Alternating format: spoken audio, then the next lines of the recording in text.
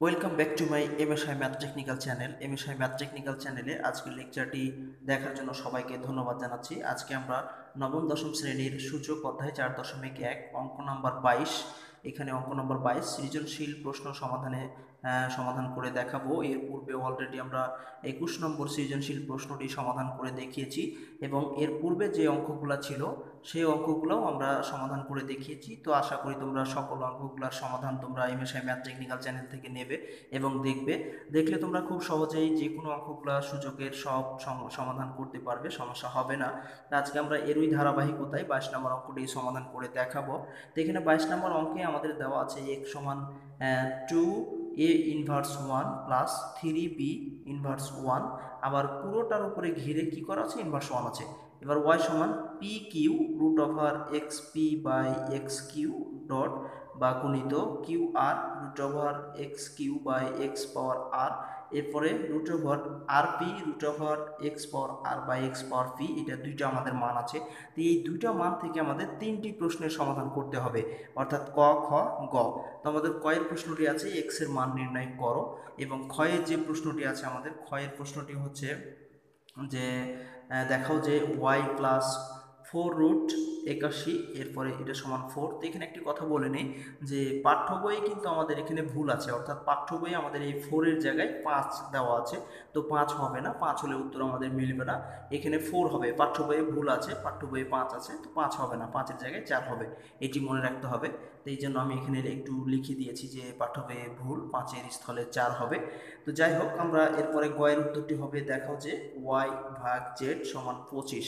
এটি আমাদের প্রমাণ করে দেখাতে হবে। আশা করি তোমরা লেকচারটি সম্পূর্ণ দেখবে। দেখলেই তোমরা এই সৃজনশীল প্রশ্নটি খুবই গুরুত্বপূর্ণ একটি সৃজনশীল প্রশ্ন। এই প্রশ্নটি সম্পর্কে তোমরা খুব ধারণা পাবে এবং এ ধরনের প্রশ্ন তোমরা আসলে পরীক্ষায় লিখতেও পারবে। তাই দেখতে থাকো এমএসআই ম্যাথ টেকনিক্যাল চ্যানেলের এই তিনটি প্রশ্নের সমাধান। এখন আমরা কয়ের সমাধানটি বের করব। খুব সহজেই বের করতে পারব এটি। তো কয়ের সমাধানে আমরা এখানে দেখব কয়ের যেটি সমাধান সমাধান দেওয়া আছে, আমাদের এক্স সমান দেওয়া ছিল যে two a inverse one plus three b inverse one আবার পুরোটার উপরে কি ছিল? ইনভার্স ওয়ান এখান থেকে আমরা এক্সের মানটা বের করে নিব। তো এখানে আমরা আমরা জানি এরকম একটা সূত্র আমরা পড়েছিলাম যে এখানে যদি এ ইনভার্স ওয়ান থাকে, তাহলে আমরা মাইনাসের জন্য কি করি? মাইনাসের জন্য একটা ওয়ান আর নিচে ভিত্তি চলে আসে অর্থাৎ এ আর এইখানে যে সংখ্যাটা থাকে, এটা পাওয়ার হিসাবে চলে আসে। তো এখানে ওয়ান আছে, তাই এর উপরে আর ওয়ান দেওয়ার আমাদের দরকার নাই। সেজন্য এখানে আমরা ওয়ান আর লিখছি না। তো ওয়ান দিলেও যা, না দিলেও ঠিক তাই, তো এই জন্য আমরা এখানে আর ওয়ান লিখছি না। এই সূত্র অনুযায়ী আমরা এখানে করেছি যে টু গুণ অবস্থায় আছে থাক মাইনাসের জন্য একটা ওয়ান আর ভিত্তি এ নিচে চলে আসবে পাওয়ার আর ওয়ান হিসাবে আমরা দিচ্ছি না দিলেও এই হবে। তো প্লাস এরপরে থ্রি আছে গুণ অবস্থায় থাক মাইনাসের জন্য একটা ওয়ান আর বি নিচে চলে আসবে পাওয়ার হিসাবে ওয়ান আছে ওয়ান আর দিলেও হয়, না দিলেও হয়, সেজন্য দিয়ে নিই এরপরে পুরোটার উপরে আমাদের কি ছিল? ওয়ান ছিল। তো এখন আমরা কি করেছি? যেহেতু টু উপরের সংখ্যা নিচে কিছু না থাকলে ওটা উপরের সংখ্যা হয় সেই জন্য আমরা এটা উপরের সংখ্যা ধরে নিয়েছি। তো দুই এককে দুই, অর্থাৎ টু বাই এ প্লাস এটাও থ্রি বাই বি তো এর পুরোটার উপর ইনভার্স ওয়ান আছে, এটা থাক, এটা আমরা কাজটা পরে করব। তো এইটার সমান এই লাইন সমান আবার কি হবে? আমরা যদি এইটা পুরো দুইটা লসাগু করি, তাহলে লসাগু পাবো এ বি আমরা এখানে এ আর বি লসাগু করে নিয়েছি, তাহলে এ বি লসাগু করলে এটা দিয়ে লসাগুকে ভাগ, তো ভাগ করলে এ বাদ হবে, থাকবে বি বি যদি আবার টু এর সাথে গুণ করি, তাহলে টু বি এর এই ঠিক একই নিয়মে আমরা যদি বি দ্বারা এবার একটু ভাগ করি, তাহলে বি বাদ হবে, থাকবে এ এ আর থ্রি গুণ করলে থ্রি এ এটা হলো, এরপরে পুরোটার উপরে আমার কি ছিল? ইনভার্স ওয়ান ছিল। এখন পরের লাইনে আমরা কি করব? তো পরের লাইনে আমরা কি করেছি? পরের লাইনে আমরা এই এই মাইনাসের জন্য একটা ওয়ান নিয়েছি আর ভিত্তি তো আমাদের এটা পুরোটাই, তো ভিত্তিটা আমাদের পুরো নিচে চলে আসছে। আর ওয়ান আমরা এর উপরে পাওয়ার হিসাবে আর দিচ্ছি না, কারণ ওয়ান দিলেও তো একই হবে। তো এই তিন ভাগের যখন দুইটা অংশ চলে আসে, তখন আমরা কি করি? উপরের সংখ্যা গুণিত নিচের ক্ষেত্রে নিচেটা উপরে যায় উপরেটা নিচে আসে। তো ওয়ান গুণিত এটা ওয়ানটা উপরের সংখ্যা। এ বি চলে গেছে উপরে আর এই two b plus three a এটা চলে আসছে নিচে। তো ওয়ানের সাথে যদি আমরা এ বি গুণ করি, তাহলে কি হবে? এ বি হবে। বি থেকে গেছে আর নিচে two b plus three b এটাই হয়ে গেছে অ্যান্সার তো আশা করি তোমরা খুব সহজেই এই কয়ের প্রশ্নটি বুঝতে পেরেছ। তো এখন আমরা ক্ষয়ের প্রশ্নটির উত্তর করব। দেখতে থাকো তোমরা। ক্ষয়ের প্রশ্নে আমরা আবার লিখেছি, সমাধান দেওয়া আছে, আমাদের এখানে ওয়াই সমান দেওয়া আছে p q root over x power p by x power q এই মানটা আমাদের পুরোটা ওয়াই ওয়াই সমান দেওয়া আছে। তো আমরা এখান থেকেই কি করব? আমরা মানটা বের করব ওয়াইয়ের মান। ওয়াইয়ের মান বের করার পরে আমরা বাম পক্ষ ধরবো, ধরে তখন অঙ্কটি সমাধান করব। আমরা এখানে ওয়াই সমান দেওয়া আছে এটা, আমরা এই পুরোটা লিখেছি লেখার পরে। আমরা এখানে কি করেছি? এই রুট ওভার যা ছিল ঠিক তাই আছে, কিন্তু এখানে দুইটা ভিত্তির মধ্যে আমরা একটা ভিত্তি নিয়েছি। আর নিচের পাওয়ারটা উপরে গিয়ে কি হয়ে গেছে? মাইনাস প্রত্যেকটার ক্ষেত্রে আমরা এই কাজটা করেছি, প্রত্যেকটার ক্ষেত্রে। এইটার ক্ষেত্রেও এক্স নিয়েছি আমরা একটা, নিচের পাওয়ারটা উপরে গিয়ে মাইনাস হয়ে গেছে, অর্থাৎ কিউ মাইনাস আর এখান এক্ষেত্রেও একই অবস্থা আমরা একটা ভিত্তি নিয়েছি আর আর মাইনাস পি হয়ে গেছে, নিচের পি উপরে গিয়ে মাইনাস পি হয়ে গেছে, তো এইটা হয়ে গেছে। তা আমরা জানি যে যদি রুট ওভার থাকে, তো রুট থাকলে আমরা হাফ লিখতে পারি এবং যার উপর রুট থাকবে, ওটার উপরে আমরা হাফ লিখতে পারি। যদি ওয়ান থার্ড থাকে ওয়ান বাই ঘনমূল থাকতো বা কিউব রুট থাকতো, তাহলে আমরা ওয়ান বাই থ্রি লিখি। যদি ফোর রুট থাকে, তাহলে আমরা ওয়ান বাই ফোর লিখি। এই এই নিয়মে আমরা এটা লিখতে পারি। অর্থাৎ যদি এখানে আমাদের যদি এক্সের ওপরে রুট থাকে এক্সের ওপরে রুট থাকে তো আমরা এক্স পাওয়ার হাফ হিসাব লিখতে পারি। রুটটাকে আমরা কি করতে পারি? হাফ করে লিখতে পারি। তো ওইটাই এখানে করেছি আমরা, যেহেতু এখানে পি কিউ রুট আছে, তাই আমরা এইটার থেকে আমরা কি করেছি? ভিত্তি আমাদের ঠিক আছে পি কিউ এটাও ঠিক আছে। তো এইটার উপরে যেহেতু পি কিউ রুট তাই আমরা ওয়ান বাই পি কিউ লিখেছি। যেহেতু আমরা এটা সমান এটা লিখতে পারি, তাই আমরা এটাও ওইভাবে আমরা এটা লিখেছি। এরপরে আমরা এটাও একই অবস্থা করেছি। এটার উপরে যেহেতু পি কিউ আর রুট আছে, তাই আমরা ওয়ান বাই কিউ আর লিখেছি। এটার উপরে যেহেতু আর পি রুট আছে, তাই আমরা লিখেছি ওয়ান বাই আর পি এখন আমরা কি করব? এটা যেহেতু এই পাওয়ারটা উপরের সংখ্যা, এর নিচে কিছু থাকলে নিচের সাথে গুণ হতো। এটা যে, নিচে যেহেতু কিছু না তাহলে এটা উপরের সংখ্যা, উপরের সাথে গুণ হয়ে যাবে। এটাও ওয়ানের সাথে গুণ হয়ে যাবে, এটাও ওয়ানের সাথে গুণ হয়ে যাবে। আমরা এখন গুণ করে দেবো। তো ওটাই করেছি আমরা, যেহেতু এটা এটা উপরের সাথে গুণ অবস্থায় ছিল, তাই আমরা x power p minus q by p q এটা আমরা গুণ করে দিয়েছি। প্রত্যেকটার ক্ষেত্রে একই অবস্থা q minus r by q r এটা এখানে করে দিয়েছি। এখানে r minus p by r p এটা এখানে করে দিয়েছি। তো এখন আমরা এটা করব একটা যে প্রত্যেকটা ভিত্তি এক, আমাদের এখানে এক্স এখানে এক্স এখানে এক্স আমরা প্রত্যেকটার ভিত্তি এক যেহেতু, তো একটা একটা ভিত্তি আমরা নেব এক্স আর বাকি পাওয়ারগুলো আমাদের কি হয়ে যাবে? যোগ হয়ে যাবে। এটা আমরা সূত্র অনুযায়ী আমরা পড়েছি এই সূত্র যে এ পাওয়ার এম আর এ পাওয়ার এন যদি থাকে তাহলে আমরা লিখতে পারি a power m plus n এই সূত্র অনুযায়ী আমরা কি করতে পারি? এটাকে সবগুলো যোগ হয়ে যাবে। আমরা ভিত্তি একটা নিয়েছি আর সব পাওয়ারগুলো কি করেছি? যোগ করে দিয়েছি। অর্থাৎ এখানে আমরা p minus q by p q plus এখানে আমরা q minus r by q r আর এখানে আমরা কি করছি? R minus p by r p এগুলো আমরা যোগ করে দিয়েছি। এখন আমরা কি করব? এই তিন ওটার মধ্যে থেকে আমরা লসাগু করব।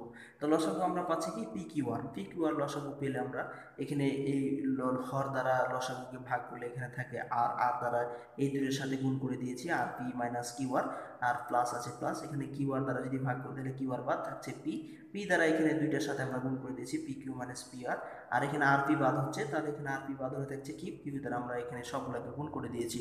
আমরা দেখতে পাচ্ছি যে এখানে প্লাস আর পি এখানে মাইনাস আর পি কেটে যাচ্ছে আর পিকে প্লাস আর পি আর এখানে হচ্ছে মাইনাস আর পি কেটে যাচ্ছে, এখানে মাইনাস কিউ আর এখানে প্লাস কিউ আর কেটে যাচ্ছে, এখানে পি কিউ এখানে পি কিউ কেটে যাচ্ছে। তো কিছু থাকছে না, তাহলে উপরে থাকবে কি? জিরো আমরা এখন এই কাজটা করব। তো এখানে কি উপরে কিছুই থাকছে না, সবগুলা কেটে গেলে থাকছে কি জিরো জিরো ভাগ পি কিউ আর তো জিরোর সাথে যাই ভাগ করি না কেন, জিরো হয়ে যায়, তো x power zero x power zero সমান আমরা কি জানি ওয়ান তো আমরা এখানে কি সমাধান পেলাম? এটা সমান আমরা ওয়াই সমান পেয়েছি ওয়ান এই ওয়ানটা আমাদের কি হবে? পরবর্তীতে আমাদের কাজে লাগবে। তো এখন আমরা বাম পক্ষ ধরে নেব। তো আমরা এখানে বাম পক্ষ আমাদের যেটা ছিল ওয়ানকে যে ওয়াই প্লাস ফোর রুট একাশি, এটা সমান আমাদের ওয়ান ফোর প্রমাণ করতে হতো। তো আমরা এখন প্রমাণ করব, বাম পক্ষ ধরে নিয়েছি, এটা আমাদের, এটা সমান ডান পক্ষ আমাদের ফোর আছে ফোর প্রমাণ করতে হবে। তো ওয়াই ওয়াই সমান পেয়েছি আমরা ওয়ান প্লাস এই ফোর রুট আমরা যদি থ্রির উপরে ফোর করি, তাহলে কিন্তু একাশি হয়ে যায়। অর্থাৎ এখানে তিনটা চার গুণ অবস্থায় আছে, যদি আমরা এটা গুণ করি, তাহলে আবার একাশি হয়ে যাবে। আমরা জানি যে রুট আর স্কোয়ারে কাটে, তাহলে ঘনমূল আর কিউবে কাটে, তাহলে এটা ফোর রুটে ফোরের সাথে কাটবে, তো ফোর ফোর কেটে দিয়েছি আমরা। তাহলে এখানে ওয়ান প্লাস থ্রি অর্থাৎ তিন আর একে যোগ করলে আমরা চার হচ্ছে। আমাদের ডান পক্ষে ছিল ফোর তো আমরা এটা কি করে দিলাম? ফোর প্রমাণ করে দিলাম। তো আশা করি তোমরা খুব সহজে এটা বুঝতে পেরেছ। তো ধন্যবাদ এতক্ষণ কষ্ট করে ক্ষয়ের উত্তরটি দেখার জন্য। তো আমি আবার গয়ের উত্তরটি এখন তোমাদের বের করে দেখাবো। গয়ে যে আমাদের প্রশ্নটি ছিল, এটা আমরা এখন উত্তরটি বের করব। তো গয়ে আমাদের যে সমাধান করতে হবে, সমাধান দেওয়া আছে আমাদের জেড সমান। আমাদের এখানে একটা মান দেওয়া আছে five power m plus one by five m power m minus one ভাগ এই মানটা আমাদের পুরো মানটা জেড সমান দেওয়া আছে। তো জেডের আগে আমাদের মান বের করতে হবে, করার পরেই আমরা গয়ে যে অঙ্কটি সেটি প্রমাণ করতে পারব। তো আমরা আগে এইটার মানটা বের করে নেব। তো আমরা এখানে কি করেছি ফাইভ যা ছিল ঠিক তাই রেখে দিয়েছি। আর নিচে এই এমটা দ্বারা এই পাওয়ারের সাথে গুণ করে দিয়েছি, অর্থাৎ এম স্কোয়ার এম আর এম গুণ করলে এম স্কোয়ার মাইনাস এম ভাগ এ পাশে আমরা কি করেছি? পাঁচকে আমরা ফাইভের ওপর স্কোয়ার করলে আবার পাঁচ পাঁচে পঁচিশ হয়ে যায়। তো আমরা পঁচিশকে ফাইভ স্কোয়ার করেছি আর বাইরে যেটা আমাদের পাওয়ার হিসাবে ছিল ঠিক তাই আছে। আর এখানে আমরা ফাইভকে রেখেছি ভিত্তি হিসাবে আর পাওয়ারটা এই পাওয়ারের সাথে গুণ অবস্থায় রেখে দিয়েছি। এখানে একটা সূত্র হয়েছে a plus b into a minus b এখন আমরা বাকি কাজটা করব। এরপরে আমরা কি করেছি? এরপরে আমরা, এটা তো আমরা করেছি, এরপরে উপরে যা ছিল ঠিক তাই আছে। ফাইভ এর পরে ওয়ান আছে এম প্লাস ওয়ান আছে, এটা আমরা ঠিক রেখেছি। নিচেরটাও যা ছিল ঠিক তাই আছে। বা এই পাশে আমরা একটু কাজ করেছি। এখানে যেহেতু স্কোয়ার টু তো এই টু দ্বারা আমরা গুণ করে দিয়েছি, অর্থাৎ টু এম প্লাস টু আর নিচে আমাদের a square minus b square একটা সূত্র ছিল, তাই আমরা এটাকে সূত্র করে দিয়েছি। তো ওয়ানের ওপরে আর স্কোয়ার দেওয়ার দরকার নেই, কারণ ওয়ানের ওপর স্কোয়ার হলে ওয়ানই হয়, এই জন্য আমরা দেই নেই তো এটা ঠিক আছে। এরপরে এই পাশে ঠিক যা ছিল তাই আছে, এই পাশের আর কোনো কাজ করি নাই। আমরা যদি ভাগকে গুণ গুণ করতে চাই, তাহলে নিচেরটা উপরে চলে যায়, উপরেরটা নিচে চলে আসে। আমরা ভাগকে গুণ করে নিয়েছি নিচেরটা উপরে চলে গেছে, উপরেরটা নিচে, অর্থাৎ five m square minus one এটা উপরে চলে গেছে, আর টু এম প্লাস টু এটা আসছে নিচে ভিত্তিও নিচে চলে আসছে। তো আমরা এটা ভাগটাকে শুধুমাত্র উল্টে দিয়েছি। তো এখন আমরা এই দুইটার ভিত্তি এক, এই দুইটার ভিত্তি এক, তো ভিত্তি ভিত্তি এক হলে আমরা একটা কমন নেব। তো দুইটার উপরে নিচের ভিত্তি আমাদের এক ছিল, অর্থাৎ এখানে আমাদের ফাইভ ফাইভ দুইটা ভিত্তি এক, এখানে ফাইভ ফাইভ দুইটা ভিত্তি এক। আমরা একটা ভিত্তি নিয়েছি আর নিচের পাওয়ারটা উপরে গিয়ে কী হয়ে গেছে? মাইনাস অর্থাৎ এম প্লাস ওয়ান ছিল উপরে মাইনাস এম স্কোয়ার মাইনাসে মাইনাসে প্লাস এম এক্ষেত্রেও আমরা কি করেছি? Five power m m square minus one minus two m plus minus minus two এটা আমরা করে দিয়েছি। এখন আমরা এই দুইটার ভিত্তি এক। তো এই দুইটার ভিত্তি এক নেওয়ার পরে আমরা এই পাওয়ারগুলো কী হবে? যোগ হয়ে যাবে। আমরা এখানে ফাইভ ভিত্তি এক নিয়েছি আর এখানে এম আর এখানে একটা এম ছিল তো আমরা একবার হিসাব করে বসিয়ে দিয়েছি two m minus m square plus one এরপরে এই পাওয়ার প্লাস এম স্কোয়ার এখানে আছে আমাদের, আর এখানে মাইনাস টু এমটাকে আমরা আগে লিখেছি, আর এখানে মাইনাস ওয়ান মাইনাস টু তাহলে হিসাব করলে মাইনাস থ্রি হয়ে যায়। আমরা দেখতে পাচ্ছি এখানে মাইনাস প্লাস টু এম আর এখানে মাইনাস টু এম কেটে যাচ্ছে, এখানে মাইনাস এম স্কোয়ার এখানে প্লাস এম স্কোয়ার কেটে যাচ্ছে। আর এখানে প্লাস ওয়ান এখানে মাইনাস থ্রি তাহলে বাদ দিলে আমরা থাকছে কত? মাইনাস টু অর্থাৎ ফাইভ ইনভার্স টু থাকছে, তো আমরা মাইনাসের জন্য একটা ওয়ান আর ভিত্তি নিচে চলে আসবে, আর পাওয়ার এখানে সংখ্যা যেটা থাকবে, এটা পাওয়ার হিসাবে লিখতে হবে। তো আমরা এখানে ওয়ান বাই ফাইভ স্কোয়ার লিখেছি। তো এখানে ওয়ান বাই ফাইভ স্কোয়ার সমান হবে কত? ওয়ান বাই পঁচিশ। এটা কি সমান পেলাম? এটা পেলাম আমরা জেড সমান। অতএব জেড সমান আমরা ওয়ান বাই পঁচিশ পেলাম, এবং ওয়াই সমান আমরা পেয়েছিলাম ক্ষয়ে, যে ওয়াই সমান ওয়ান এখন ক্ষয়ে আমাদের ওয়া খ হতে লিখে দিয়েছি ওয়াই সমান ওয়ান পেয়েছিলাম। এখন আমরা বাকি অংশ করব। তো আমরা জেড সমান পেলাম ওয়ান বাই পঁচিশ এবং ওয়াই সমান ওয়ান এটা আমরা পেয়ে গেছি। এখন বাম পক্ষ বাম পক্ষ ছিল আমাদের কি যে এটা সমান আমাদের পঁচিশ প্রমাণ করতে হবে।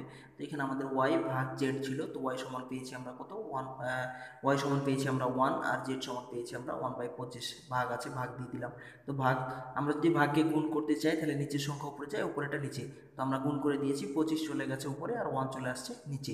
এখন আমরা যদি এটা কাটাকাটি ওয়ান ওয়ান কেটে দিলে থাকছে কত? পঁচিশ। এটাই আমাদের প্রমাণ করতে বলেছিল।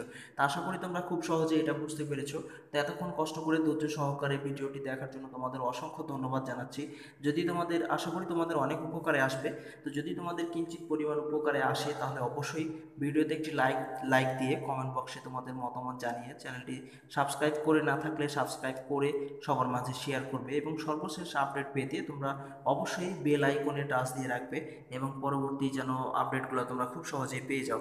তো ধন্যবাদ, কষ্ট করে দেখার জন্য।